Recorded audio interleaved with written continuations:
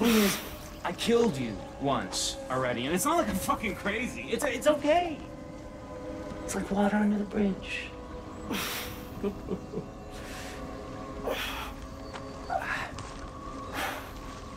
Did I ever tell you the definition of insanity?